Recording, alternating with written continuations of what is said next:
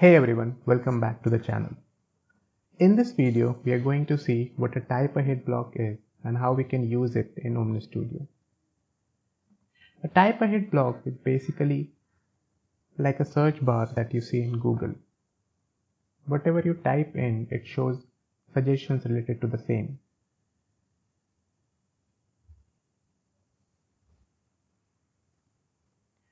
Let's move on and see what do we need to create a type ahead block in the Omni script. First of all, we would need a data raptor. This data raptor is going to fetch the data that we'll be showing in the type ahead block.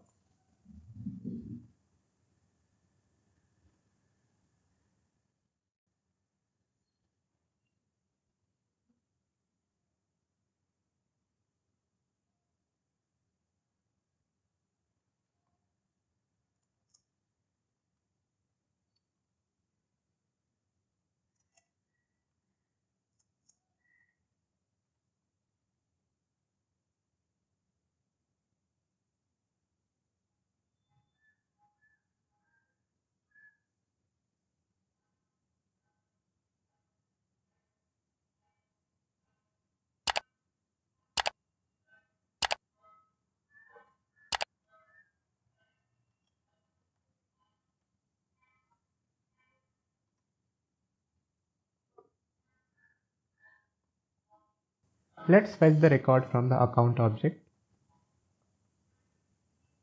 And for the filtering criteria, we are going to take name.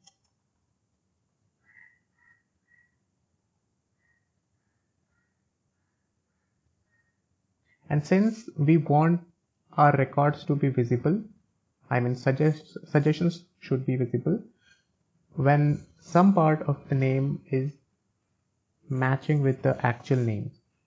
So for that reason, we are not going to use equals to, we're going to use like operator here. And this would be equal to some key that we will be sending from the Omni script. So let's go to the output. And let's map the extract JSON path with the output. So for now, we are only going to fetch uh, the ID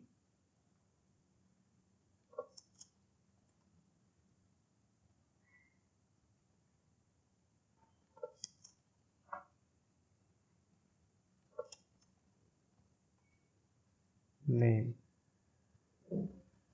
So let's preview it once. So this is going to be the key and let's get the value as acme. Okay. Let's see what we get when we only put in AC so we're getting multiple records. Alright let's go ahead and create an Omni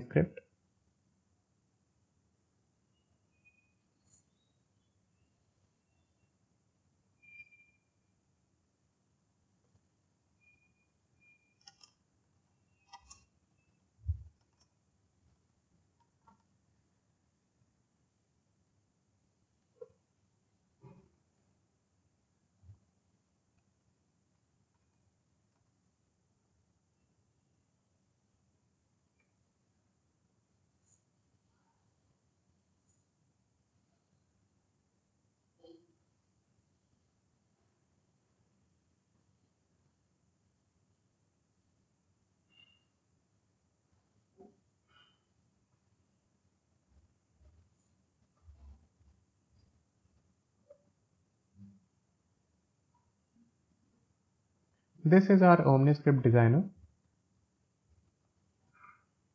And we are going to add one element in the step one. And that is gonna be our type ahead block. So you can search ahead and drag and drop the type ahead block over here. Now we have to configure this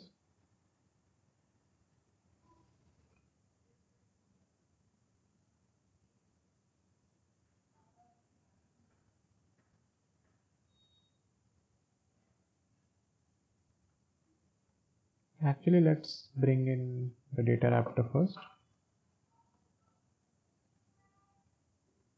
And you have to fetch this data raptor extract action into this block.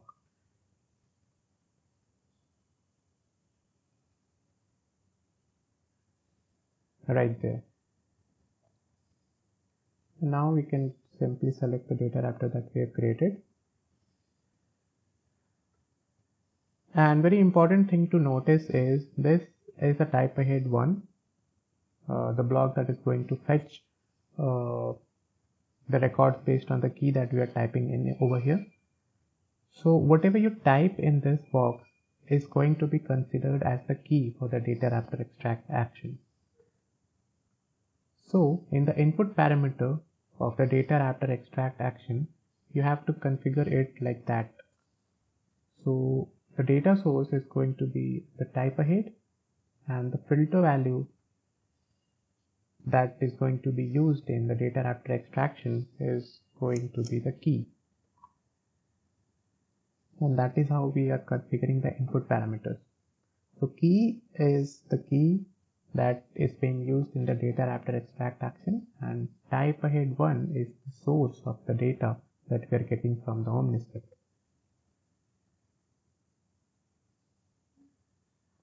uh, let's go ahead and try to check it out.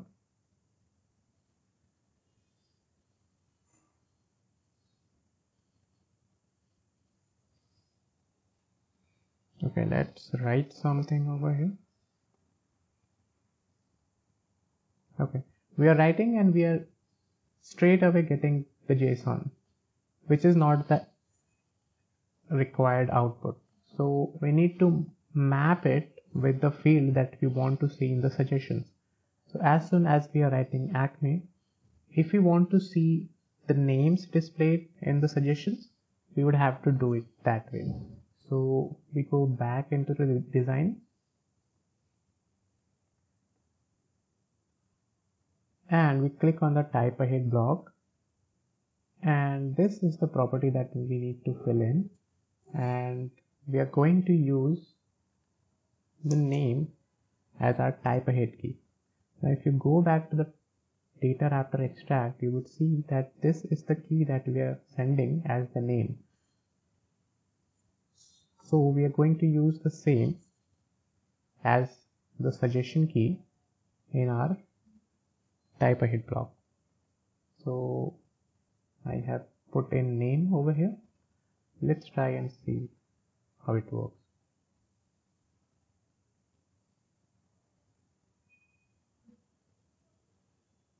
alright. So the data JSON is not fetching any data as of now.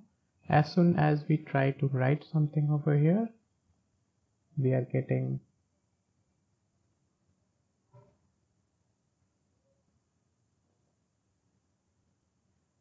few records in the response data. As you can see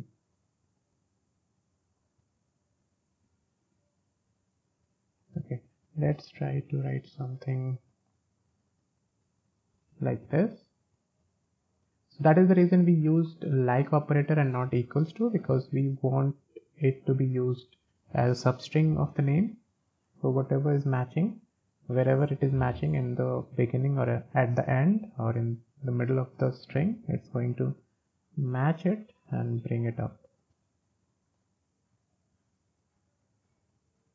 Alright now a few more things to note here is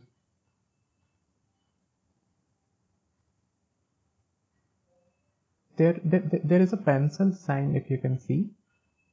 And if we enable the edit mode we would be able to see the fields in the editable mode. So we are only sending two fields as of now as soon as I write something over here. It's going to map the data with another field but we have to map the field first.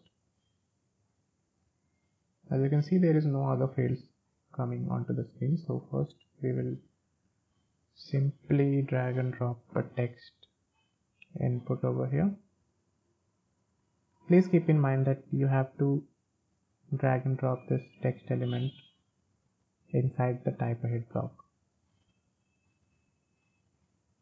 Let's name it name.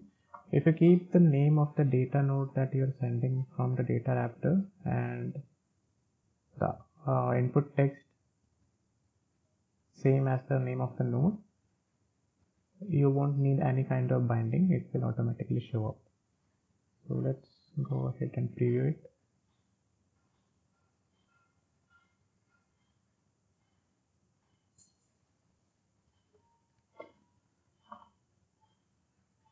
See the text one element is already visible. That is because we have uh, made that boolean true which said edit mode. So if we write anything it's going to show the name over here. Actually it would have made more sense if I would have mapped it with ID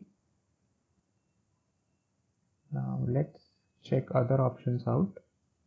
Actually let's name it id so you'll be able to see id in this field.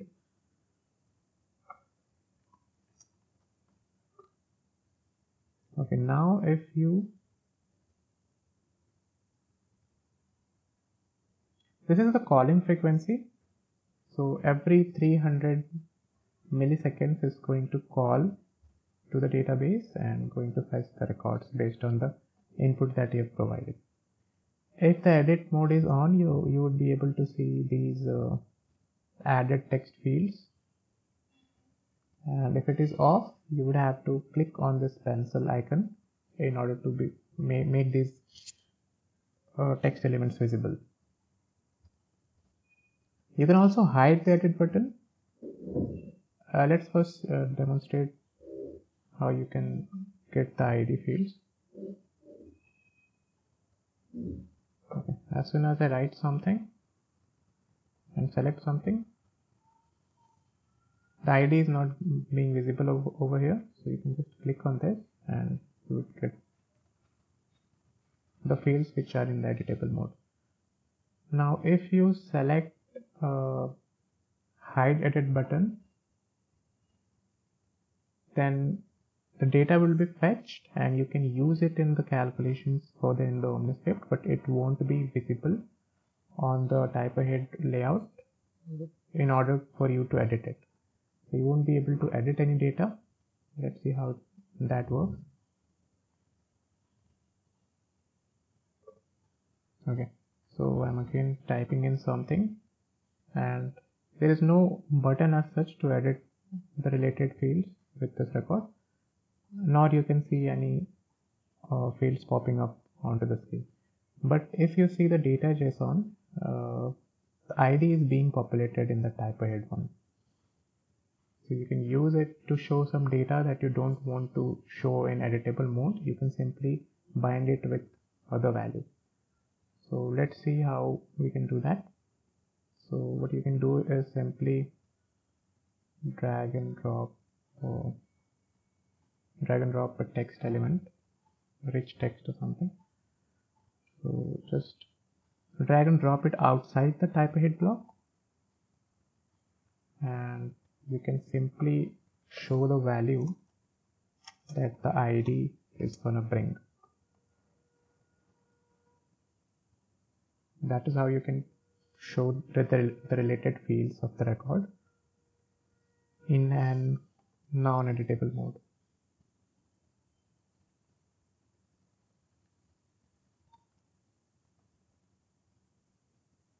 There it is and it is non-editable. All right.